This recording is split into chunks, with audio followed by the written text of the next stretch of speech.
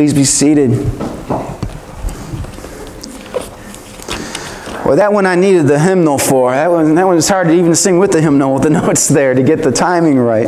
But what a blessing song. We are turning to this morning to 2 Corinthians chapter 4 through chapter 5 verse 1. Hear now the word of the Lord.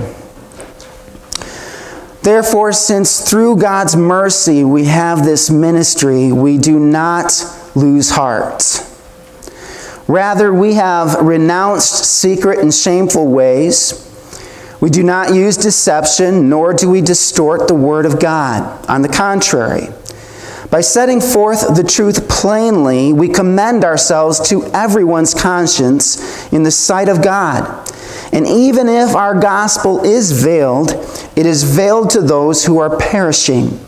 The God of this age has blinded the minds of unbelievers so that they cannot see the light of the gospel that displays the glory of Christ, who is the image of God. For what we preach is not ourselves, but Jesus Christ as Lord, and ourselves as your servants for Jesus' sake. For God, who said, Let light shine out of darkness, made his light shine in our hearts to give us the light of the knowledge of God's glory displayed in the face of Christ. But we have this treasure in jars of clay to show that this all surpassing power is from God and not from us. We are hard pressed on every side, but not crushed, perplexed, but not in despair, persecuted but not abandoned, struck down, but not destroyed. We always carry around in our body the death of Jesus so that the life of Jesus may also be revealed in our body. For we who are alive are always being given over to death for Jesus' sake, so that his life may also be revealed in our mortal body. So then, death is at work in us but life is at work in you. It is written, I believed, therefore I have spoken. Since we have that same spirit of faith, we also believe and therefore speak, because we know that the one who raised Jesus, who raised the Lord Jesus from the dead, will also raise us with Jesus and present us with you to himself. All this is for your benefit, so that the grace that is reaching more and more people may cause thanksgiving to overflow to the glory of God. Therefore, we do not lose heart. Though outwardly we are wasting away, yet inwardly we are being renewed day by day. For our light and momentary troubles are achieving for us an eternal glory that far outweighs them all. So we fix our eyes not on what is seen, but what is unseen. Since what is seen is temporary, but what is unseen is eternal. For we know that if the earthly tent we live in is destroyed, we have buildings from God, an eternal house in heaven, not built by human hands. Amen. Let's pray. Oh Lord, this is your word. We give thanks to you for it, and we ask Lord, that you would bring your blessing to our meditation upon its meaning in our lives. Help us, Lord, to hear directly from you. And, Lord, to live in a way that pleases you in response. We pray these things in your name, Jesus. Amen.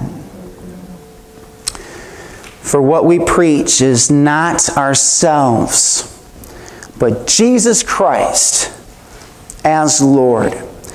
I want to prepare you a minute for where we are going with this.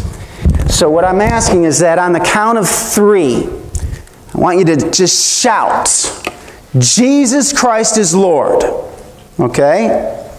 One, two, three. Oh, that was good. That is good. I pray by the end of this message, oh, it's going to come from your, it's going to, mm, all right? So that's where we're going. So let me explain uh, as we go there. So the plan was that we would end the sermon series on putting on the armor of God last week. And then this week, being Labor Day weekend, we would talk about our Christian labor while we're still here on earth. What's, what are we supposed to be doing? And then to next week, we would um, cut up, we would begin again our series for part three of our series um, through the Believe curriculum. All right? So that was the plan. And then I realized that I, when we were doing the putting on your armor, when we got to the gospel shoes, there, were, there was an important aspect to the gospel shoes that I left out. And it's exactly the work for which God has us here on earth. It's, it's our Christian labor. So I'm to call, I'm calling this this morning um, Readiness, the Gospel Shoes, Part 2. Part 2, because we left out so much in Part 1. So I want you to please look down at your shoes a minute. All right? Now I'd ask you to look at your feet, but that would require taking your shoes off. Don't do it. All right? That would be a little too distracting, I think, this morning. But, but consider your feet. Do you have beautiful feet? now, by the mixed reaction, I can tell some are thinking physically. I'm not talking physically, not your physical feet. I'm talking spiritually. Do you have beautiful feet? Because as we consider our gospel shoes, our, our feet fitted with the readiness that comes from the gospel of peace, how can we not also hear Romans 10 15 in our heads? How beautiful are the feet of those who bring good news. Amen. Paul's talking about the gospel. He's talking about bringing the good news of salvation in Christ out to those who have not yet heard of Jesus Christ. He's talking about standing our ground, but more than standing our ground, as we talked about before, advancing the kingdom ground into the lives of others by going with our feet to people and proclaiming Jesus Christ, His death and His resurrection. You know, salvation by grace through faith in Christ alone and not by works. That's what Paul is talking about. We need our feet, we need our feet readied to go and going with the gospel out to others. This is the greatest battle that we have as Christians in this life. Because our enemy fights hardest against the proclamation and the spread of the gospel in the lives of others. There is a war going on between heaven and hell for the souls of people. And God, our Father in heaven, desires that everyone would be saved and come to the knowledge of the truth that there is one God and one mediator between God and human beings, Christ Jesus our Lord. Amen? And Satan desires that no one would be saved, that everybody would remain on the wide path to destruction rather than the narrow road of Jesus Christ. Well, since God's desire is that everyone would be saved, He's given us marching orders towards that end, right? Jesus said, Go into all the world and make disciples, baptizing them in the name of the Father, Son, and Holy Spirit, and teaching them to obey all that I have commanded you. That is what Jesus came to this earth to do, to seek and to save those who are lost.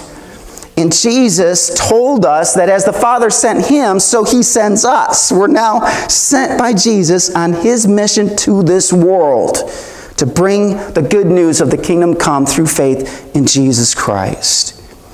So, connecting that to the gospel shoes we talked about in the Armor of God series, I want you to consider this. Ephesians 6:15, which we looked at previously, can also be translated this way as it is by the New Revised Standard Version. As shoes for your feet, put on whatever will make you ready to proclaim the gospel of peace. What do you need to do your job? To go and proclaim the good news of Jesus Christ. Because we're in a war. And soldiers need to know what they're fighting for, amen? I mean, when a soldier goes off to war, he or she needs to know what, a, what am I putting my life on the line for? What am, what am I possibly going to die for? Soldiers have been called up recently, by the way. Uh, Richie Beeching, for one, uh, has been called, and Andy Beeching, called to go down to Texas to help out with all the victims of the hurricane. So they know they're putting their lives on the line to save people and help them rebuild their lives. Worthy calling. There are also people being called up into duty in order to go to North Korea. All right, towards North Korea. And we all know from the news what they're being called up for the possible conflict with North Korea is threatening with, with the missiles and that kind of thing, Guam and Japan and even the, right here. Right? So we're being told, you know, to save human lives. That's what we're being told. What is worth your putting your life on the line for while you still have life here on earth?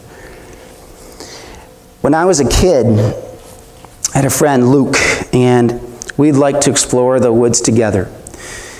And I hope you can stop at this example. I apologize before you even know what it is. But um, any rate, Luke and I, we were exploring out in the woods. We go to down to the Grand River, and we find a snake uh, swimming. Yeah, I don't like snakes, probably because of this encounter with one. So anyway, this snake is slithering through the water, and we were little kids, little boys trying to prove our little manhood, you know, and we got sticks and we caught that snake. Well, we tried to. That snake, man, it withered. It fought. It did not want to be pinned, you know, and but we were two little boys trying to prove ourselves and we kept fighting too. And and we pinned that snake and in that snake's struggle to not be pinned, the snake died. Please forgive me, I was a little kid. And, uh, well, we saw something moving inside of the snake. We were curious little boys. We thought, what is that? Maybe it's a mouse or something that snake just ate. Well, my friend Luke had a knife, and he gets out his knife, and I hold down this snake, and yeah, I'm sorry, but and we cut open the snake, and and what came out was about a thousand little snakes.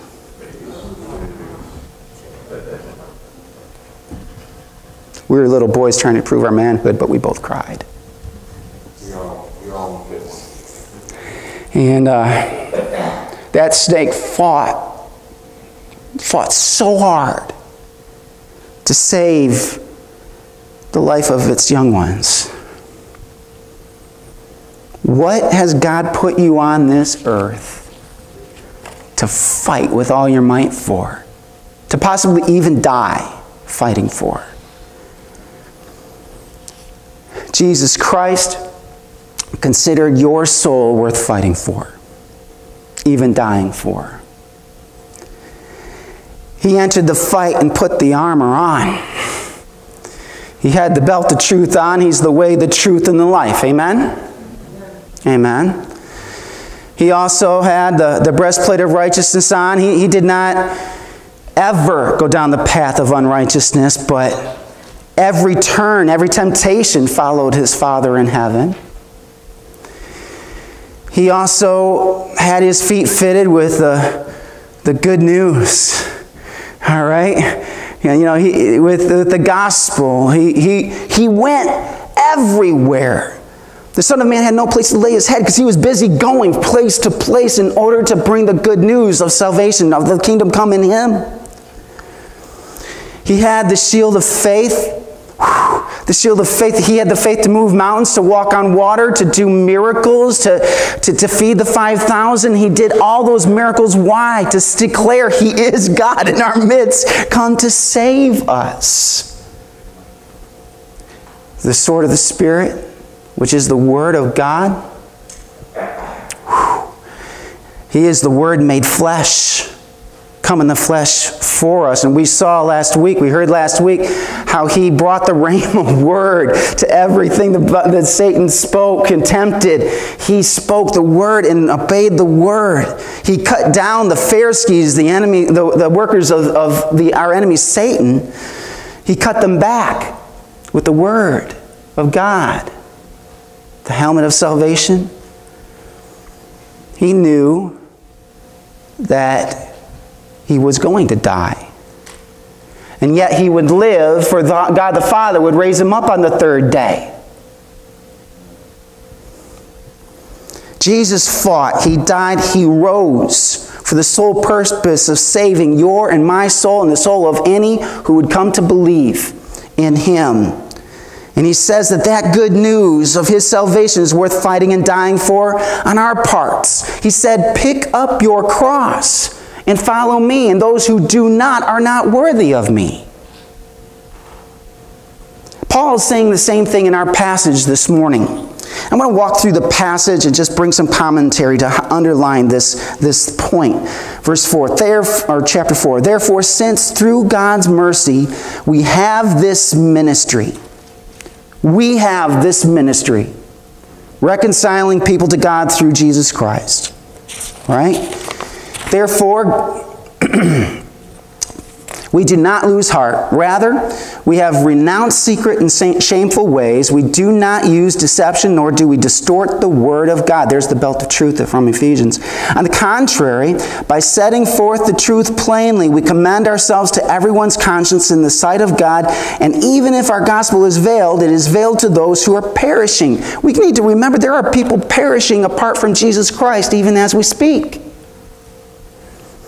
The God of this age has blinded the minds of unbelievers so that they cannot see the light of the gospel that displays the glory of Christ, who is the image of God. Oh, how Satan is trying to keep people blind to the truth. So we need to shine that much brighter and that much more fervently. Amen? For what we preach is not ourselves, but Jesus Christ as Lord, and ourselves as your servants for Jesus' sake.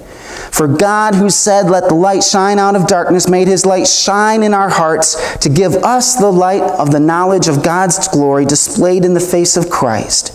But we have this treasure in jars of clay to show that this all surpassing power is from God and not from us. We are hard pressed on every side, not crushed, perplexed, but not in despair, persecuted, but not abandoned, struck down, but not destroyed. I just need to comment oh, how Satan tries to perplex you, tries to strike you down, would like to destroy us so that we would not be able to spread the good news of Jesus Christ. I'm reminded of a little church a couple of blocks down from the church I grew up in, same denomination. My church was on the main street. It was a larger church. This church was small on a side street in the same ghetto. And this church was struggling for survival.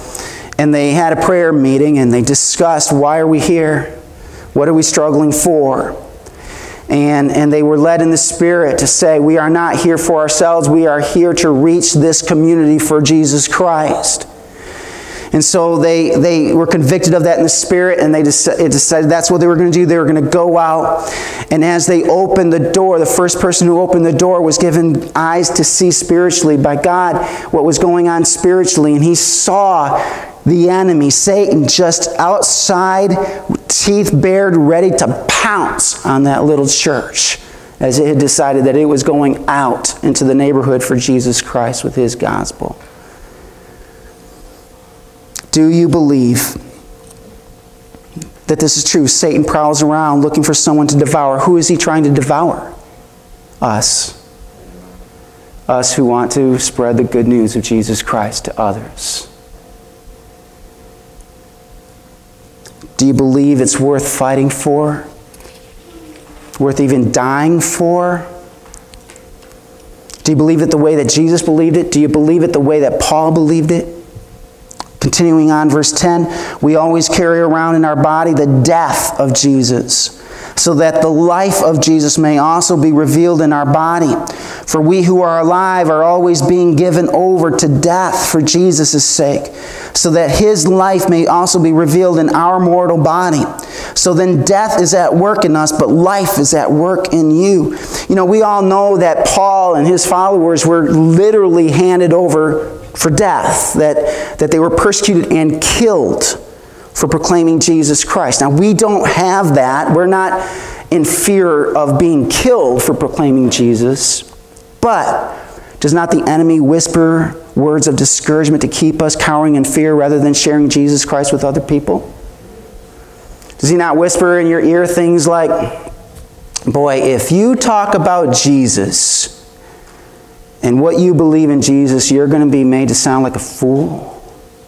I talked with a person this week who said that he'd been working in the same place for decades. And he was lamenting how it used to be you could talk about what you believe in the work setting during your breaks and that kind of stuff. You could, you could do that and not be fearful. He says now he knows if he brings up Jesus Christ, he'll be fired. If he says anything contrary to what the organization believes, what they say they're for, through his convictions in Christ, he'll be fired. And what does the enemy whisper in all of our ears? Boy, if you suggest to people they need Jesus, that Jesus is the only way, you're going to sound like a arrogant, closed-minded fool. How dare you suggest that Muslims aren't saved, that Hindus aren't saved, that Jews, unless they come to faith in Jesus Christ, are not saved? How dare you say such things? Satan whispers that in our ear. He says, You're not smart enough to do this witnessing thing. Someone's going to ask you a question you're not going to have the answer for. oh no. That would be terrible. Satan says, Oh, you're going to push people away if you bring up the truth of Jesus. What's so bad about the fact that God loves you enough that He considers you worth dying for? Tell me that. Amen? That's love. Amen. No, you won't be physically killed, but the enemy, he's coming against us. Are you willing to to, put, to, to die to your need for those people to think you're like them? Are you willing to die to that need? Let's continue on. Verse 13, Paul says, I believe, therefore I spoke. I have spoken. Since we have that same spirit of faith, we also believe, therefore we speak, we proclaim Jesus. Because we know that the one who raised the Lord Jesus from the dead will also raise us with Jesus and present us with you to himself. All this is for your benefit, so that the grace that is reaching more and more people may cause thanksgiving to overflow to the glory of God. Therefore, we do not lose heart, though outwardly we are wasting away, yet inwardly we are being renewed day by day. For our light and momentary troubles are achieving for us an eternal glory that far outweighs them all. So we fix our eyes not on what is seen, but what is unseen, since what is, what is seen is temporary and what is unseen is eternal. For we know that if the earthly tent, our bodies, that we live in, is destroyed, we have a building from God, an eternal house in heaven, not built by human hands. Here's how the gospel itself can ready your feet to get going with the gospel to others even if we die trying, we get to rise again. we get to live eternal. you know, so so what if people ridicule us? So what if we lose our jobs? That pales in comparison. Jesus was tortured and died, as was Paul and many others. It could be worse. And they did so knowing that God was going to raise them from the dead. We know the same thing for ourselves, we in Christ. We're going to be raised from the dead. So we have nothing to fear in death, proclaiming the good news of Jesus Christ to others. For what we preach is not ourselves, but Jesus Christ as Lord. One more practice. One, two, three. Jesus Christ is Lord. As shoes for your feet, put whatever will make you ready. Ready to run, ready to go, and proclaim this gospel. A Couple more illustrations. We all know there's another group out there that's shouting to their God, ready to die, don't we? Right? I'm talking about radical Islamic terrorists. They yell, Allah Akbar. They yell to their God as they're willing to blow themselves up to kill other people. Infidels, they call them. They, anyone who doesn't agree with them, their belief, and they believe that, that that's the only way, honestly, in their, in their belief system to guarantee that they're going to be in heaven is, is killing infidels in what they consider a holy war. They strap not the belt of truth, but they strap a belt of bombs around their waist. They, they, they do not yell Allah Akbar and try to save people, they, they yell Allah Akbar and try to kill people to guarantee, guarantee their salvation. They think they're earning it that way. You know what really bothers me? They're willing to die for their faith, and it's the wrong faith. Who should be willing to die for their faith? Us should we should be willing to die for our faith in Jesus Christ, yelling, Jesus Christ is Lord. We should never be afraid to proclaim when the Holy Spirit calls us to name the name Jesus Christ to someone. Here's a story I read from the Middle East this week.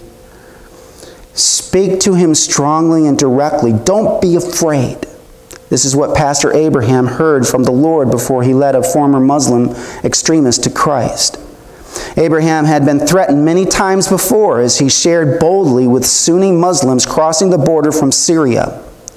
But the threats toward his family were becoming more frequent and more serious. For several months, he had been dealing more and more with internal fear. He knew of no better way to combat that fear than to pray and ask the Lord for strength. But the fear persisted. One day he was working outside of his house with an electrical saw. As he used it, the blade suddenly popped off and, and caught him in the mouth. He had the blade hit him a few inches lower. It could have hit an artery in his throat. If it had been a few inches higher, it could have blinded him. As he stood in shock for a moment, bleeding, he heard the Lord speak to him internally, saying, I am in control of when your life will end. Stop being scared. At that moment, Abraham's fears were calmed. So when Fadi appeared at Abraham's home, Abraham was ready. He heard the Lord say in his spirit, Speak to him strongly and directly. Don't be afraid. Abraham boldly told him Islam was inspired by Satan. At these words, Fadi began shaking uncontrollably. Abraham came beside him and told him, God is here, is, is beside you now, and he is putting his hand on your shoulder, asking you, what do you want? I want salvation, Fadi replied. Jesus will forgive you your sins, Abraham told him. Fadi began to weep, and Abraham prayed with him before he left. A week later, Fadi came to Abraham's home again. He wanted to tell Abraham about a dream he'd had. In the dream, Abraham gave Fadi an envelope, and the envelope had blood pouring out of it. Abraham told Fadi in the dream, don't be afraid, this blood is good. Fadi was afraid. The dream meant that either he or Abraham were going to die. Instead, Abraham told Fadi about Jesus' blood that paid for our salvation and forgave our sins. Four months ago, Fadi was baptized in front of Abraham's church. He continues to come to Abraham for discipleship. He also won his wife to the Lord, and he is boldly sharing his faith in the, refuge, in the Syrian refugee camp he is now living in. Ah, what should make our feet ready? to go and proclaim Jesus Christ? Well, the good news itself.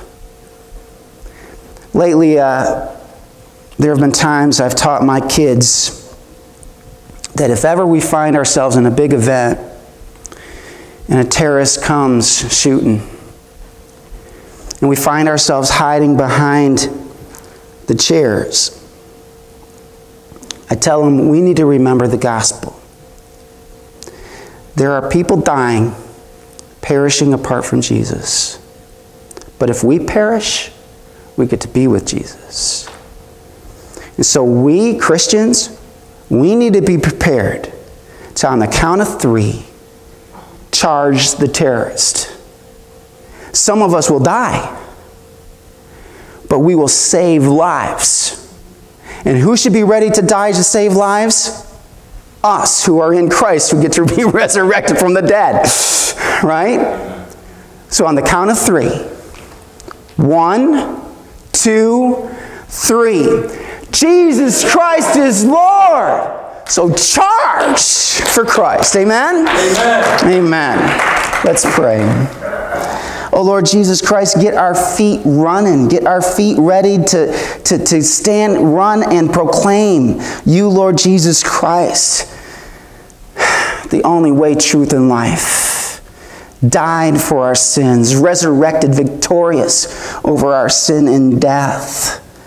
Oh Lord, reveal, set our feet running to the people that you have chosen for us to reach. You desire everyone to be saved. Lord, give us that same desire. Lord, a desire that's worth dying for and living for with all the life we have left here on earth. Oh Lord Jesus Christ, I pray that because of your Spirit speaking here this morning, that this week, one, one, all of us would be more bold and that we would share you with somebody. And Lord, that we would see you bringing somebody to faith in you. We pray these things in your name, Jesus. Amen. Amen.